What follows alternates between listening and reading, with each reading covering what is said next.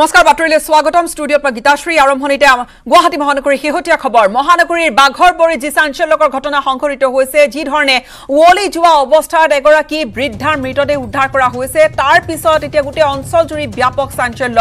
কি অৱস্থাত মহিলাগৰাকীয়ে তেনেকৈ মৃত্যু সাৱটি ল'বলগীয়া হ'ল। যিহেতু মৃত মহিলাগৰাকীৰ বৃদ্ধাগৰাকীৰ নাম আমি জানিব পাৰিছো বীণামালা হাজৰিকা বুলি। আৰু তেওঁক লগতে মুমূৰ্ষ অৱস্থাত উদ্ধাৰ কৰা হৈছিল বৃদ্ধাগৰাকীৰ কন্যাকো। অতি সংকটজনক অৱস্থাত কাবেৰী হাজৰিকাক অৰ্থাৎ কন্যাক জি এম চি এইচত ভৰ্তি কৰোৱা হৈছে। দহ দিন ধৰি এপাৰ্টমেণ্টৰ বন্ধ কোঠাত আবদ্ধ হৈ আছিল মাতৃ আৰু কন্যা। আৰু গংগা শান্তি এপাৰ্টমেণ্টত সংঘটিত হৈছিল এই চাঞ্চল্যকৰ ঘটনাটো। ঘৰৰ সকলো সামগ্ৰী লণ্ডভণ্ড অৱস্থাত উদ্ধাৰ কৰা হৈছে। ভিতৰৰ পৰা দুৱাৰ বন্ধ অৱস্থাত আছিল বিল্ডাৰ এম শৰ্মাৰ ফ্লেটত সংঘটিত হৈছে ঘটনাটো। ৰুক্মিণী গাঁৱৰ ঘৰৰ পৰা বিল্ডাৰে ফ্লেটটোত ৰাখিছিল পৰিয়ালটোক আৰু দিছপুৰ আৰক্ষী থানাৰ ভাৰপ্ৰাপ্ত বিষয়া দণ্ডাধীশ শান্তনু গগৈ উপস্থিত হৈছে। ইতিমধ্যে এই গোটেই ঘটনাটোৰ কি ধৰণে সংঘটিত হ'ল আৰু আশ্চৰ্যকৰ বিষয় যে অতি মুমূৰ্ষ অৱস্থাত উদ্ধাৰ কৰা হৈছে কন্যাক আৰু প্ৰায় দহ দিন ধৰি সেই সেই বন্ধ কোঠাত তেওঁলোক আছিল ভিতৰৰ পৰা দুৱাৰ মৰা আছিল আৰু মহিলাগৰাকীৰ মৃতদেহ সেই অৰ্থাৎ মৃতদেহৰ সৈতে মুমূৰ্ষ অৱস্থাত জীয়ৰীও আছিল। বৃদ্ধা মহিলাগৰাকীৰ নাম ইতিমধ্যে আমি আপোনালোকক জনাইছো। বীণাবালা হাজৰিকা আৰু বিল্ডাৰে তেওঁলোকৰ ৰুক্মিণী গাঁৱৰ ঘৰত তেওঁলোকৰ মাটিত ফ্লেট তৈয়াৰ কৰিছিল বিল্ডাৰে। তাৰ পৰিৱৰ্তে যিহেতু সাধাৰণতে এই ধৰণৰ এটা বন্দোবস্তি হয় বিল্ডাৰে তেনেকুৱাকৈ যি গৰাকী তেওঁলোকক কোনো হয়তো ভাড়াঘৰৰ ব্যৱস্থা কৰি দিয়ে বা আন কিছু ঘৰৰ হয়তো ব্যৱস্থা কৰি দিয়ে। বিল্ডাৰ এম শৰ্মাৰ ফ্লেটত সংঘটিত হৈছে ঘটনাটো। গাঁৱৰ ঘৰৰ পৰা বিল্ডাৰে ফ্লেটটোত ৰাখিছিল এই পৰিয়ালটোক। দিছপুৰ আৰক্ষী থানাৰ ভাৰপ্ৰাপ্ত বিষয়া আৰু লগতে দণ্ডাধীশ শান্তনু গগৈ উপস্থিত হৈছে। এতিয়া তদন্ত আৰম্ভ হৈছে। কি অৱস্থাত এনেকৈ কৰুণ মৃত্যুক সাৱটি ললে বৃদ্ধাগৰাকীয়ে আৰু বৰ্তমান মুমূৰ্ষ অৱস্থাত আছে জীয়ৰী। আমাৰ খবৰ দিছো যে ইয়াতে এগৰাকী মহিলা মৃত্যু হৈছে দৰ্জা বন্ধ আছে আৰু গোন্ধ আছে। সেইমতে আমাৰ চাৰ্কুল অফিচাৰ ছাৰো আহিলে। আহি পেলাই আমি দৰ্জাটো তেনেকে খুলিলো। চাৰিওফালে বন্ধ আছে কোনোফালে নাই। তাৰপিছতে ভিতৰতো বস্তু বাহিনীবোৰ য'তে ত'তে পৰি আছে। তোমালোকৰ তেওঁলোকৰ মাতৃ এগৰাকী এতিয়া যিজনী ছোৱালী বুলি কৈছে কাবেৰী হাজৰিকা এগৰাকী আছে ছোৱালী। তেওঁতো এইটো ডিকম্প'জ তেওঁ ডেড বডি আছে। আৰু বাকী এগৰাকী মাকক মাকক বীণাবালা হাজৰিকা তেওঁক ৰেস্কিউ কৰা হৈছে মেডিকেললৈ এতিয়া পঠা হৈছিল কিন্তু বডিটো চাই ডিকম্প'জ যেতিয়া এইটো ছয় সাত দিন মান হ'ব লাগে এইটো তেওঁলোকৰ ভাড়াঘৰ। নিজৰ নিজৰ ঘৰ তেওঁলোকৰ আছিলে এতিয়ালৈকে মই জনা মতে ৰুক্মিণী গাঁৱত আৰু বাকীখিনি তদন্তত আমি গম পাই তো তেওঁলোকৰ সেই সময়ত ইনফৰ্মেশ্যনৰ মতে হয়তো দুগৰাকী মাক আৰু জীয়েক মৃত অৱস্থাত আছে চাগে বুলি তেওঁলোকে ভয় আশংকা কৰি তেওঁলোকে মোক খবৰ দিছিল। ভিতৰত আৰু এখন দুৱাৰ আছে সেইখনো আমি ভিতৰৰ পৰা বন্ধ আছিলে সোমাইছো। ঠিক তেতিয়া আমি দেখিলো যে এগৰাকী অলপ বয়সীয়া মহিলা এগৰাকী উলংগ অৱস্থাতে আছে। এখন চোফা টাইপৰ দীঘল হেৰি এখনত শুই আছে আৰু তেখেত মানে জীয়াই আছে। আনহাতে এগৰাকী অন্য এগৰাকী তেখেত কাষৰ ৰুম এটাত মাটিত পৰি আছে। শৰীৰৰ কিছু অংশ মানে গেলি যোৱা যেন অনুভৱ হৈছে আৰু তেখেতৰ তেখেত জীয়াই থকাটো অৱস্থাত নাই।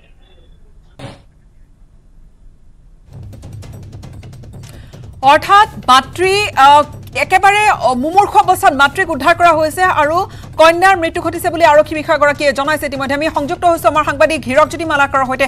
হীৰক ঘটনাটো কি ধৰণে প্ৰথমে পোহৰলৈ আহিল? আৰম্ভণিৰ পৰা জানিবলৈ বিচাৰিম আৰু কি অৱস্থাত আছে বৰ্তমান জীৱিত মহিলাগৰাকী? স্বগীতাশ্ৰী প্ৰথমতে কওঁ যে মহানগৰী এটা পিছত আন এটা এনেধৰণৰ ঘটনা সংঘটিত হৈছে। কিন্তু আজি যিটো ঘটনা সংঘটিত হৈছে সেয়া আচলতে হত্যাকাণ্ড নে অন্য কিবা এই মুহূৰ্তলৈকে স্পষ্ট হৈ পৰা নাই। আৰু যিগৰাকী বৃদ্ধাৰ ইতিমধ্যে মৃতদেহ উদ্ধাৰ হৈছে তেওঁৰ নাম হৈছে বীণাবলা হাজৰিকা। আৰু মোৰ পিছফালে থকা এই যি দেখিছে আপুনি গংগা শান্তি এপাৰ্টমেণ্ট যিটো দেখিছে এই গংগা শান্তি এপাৰ্টমেণ্টত যি গ্ৰাউণ্ড ফ্ল'ৰ আছিলে সেই গ্ৰাউণ্ড ফ্ল'ৰত বসবাস কৰিছিল। আৰু জুন মাহৰ পৰা জুন পৰা জুলাই মাহৰ মাহৰ পৰা যিহেতু এই এই এপাৰ্টমেণ্টটোত তেওঁ বসবাস কৰিছে বুলি জানিব পৰা গৈছে।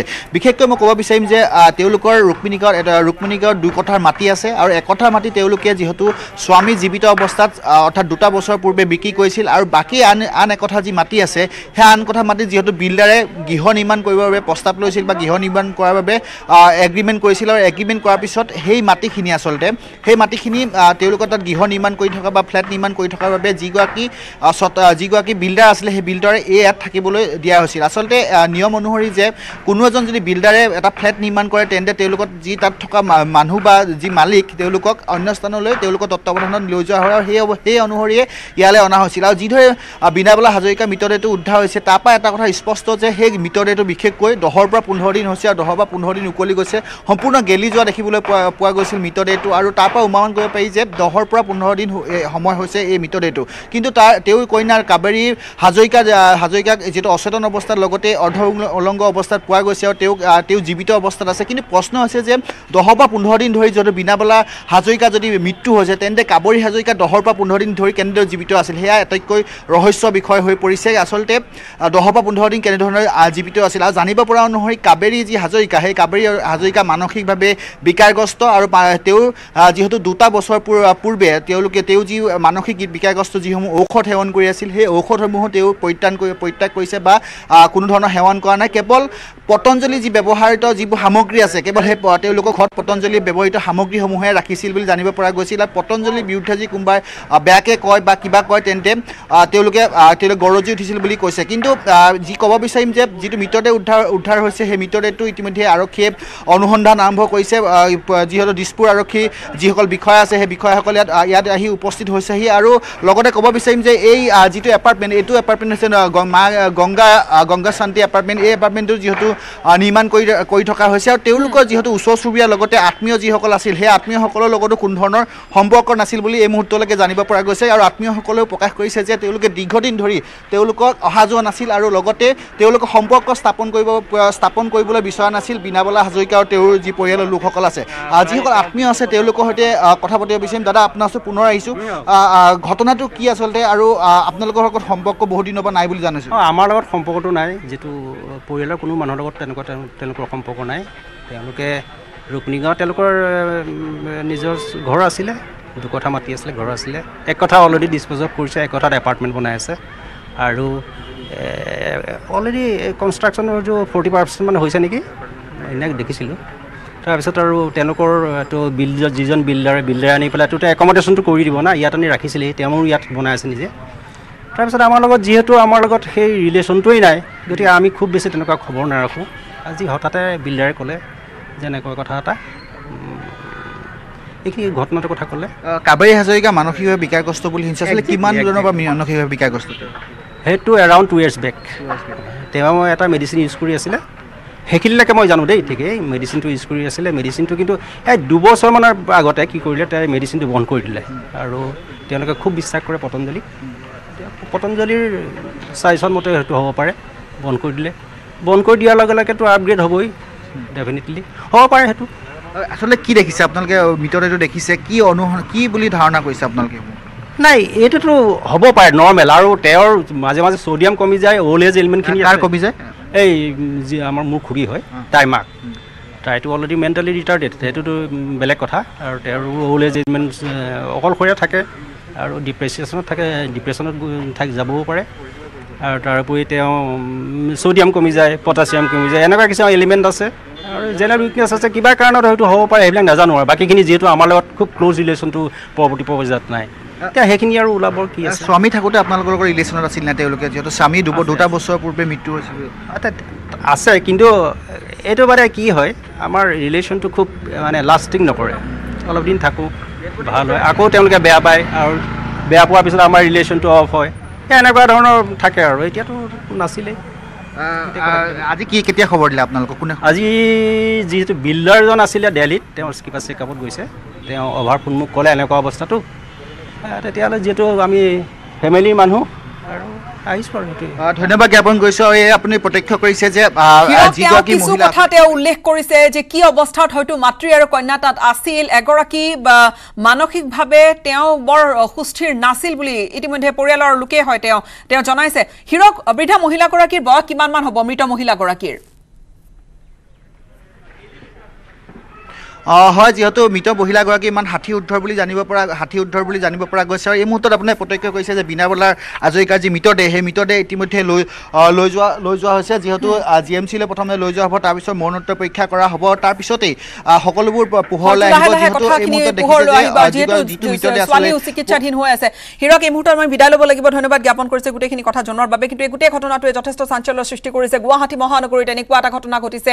ওচৰ চুবুৰীয়াৰ সৈতে কোনো ধৰণৰ তেনেকুৱা এটা এটা সম্পৰ্ক নাছিল বুলি জনা গৈছে আৰু এই গোটেইখিনিৰ মাজত এগৰাকী বৃদ্ধাৰ মৃতদেহ উদ্ধাৰ জীয়ৰী একেবাৰে মুমূৰ্ষু অৱস্থাত উদ্ধাৰ কৰা হৈছিল। মুমূৰ্ষু অৱস্থাত চিকিৎসালয়ত ভৰ্তি কৰোৱা হৈছে আৰু এই গোটেই ঘটনাটোৱে কিন্তু বহুবোৰ প্ৰশ্ন গুৱাহাটী মহানগৰবাসী হিচাপে বহুবোৰ প্ৰশ্ন এৰি গৈছে আৰু আনহাতে এই ঘটনাটোৰ তদন্ত আৰম্ভ কৰিছে আৰক্ষীয়ে। হাজৰিকা দেউতাক মোৰ খুৰা হয় আৰু কাবিৰ হাজৰিকা মোৰ ডেফিনেটলি ভনীয়ে হয়।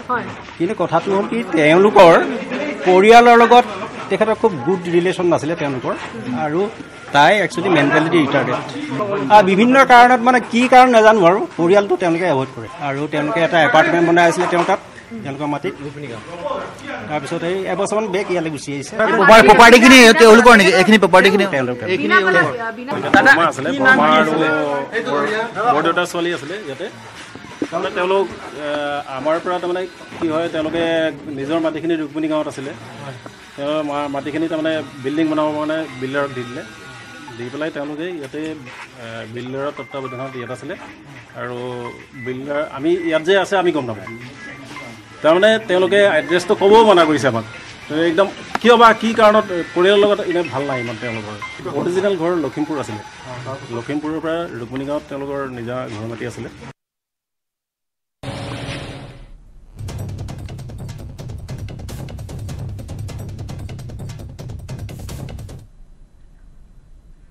আৰু এই ঘটনাটোৱে ব্যাপক চাঞ্চল্যৰ সৃষ্টি কৰিছে গুৱাহাটীত। ইয়াৰ সৈতে সময় হ'ল এতিয়াৰ বাতৰিৰ পৰা বিদায় লোৱাৰ। নমস্কাৰ। ব্যৱহাৰ কৰোঁ। আটাইতকৈ সবল আৰু সতেজ চিমেণ্ট।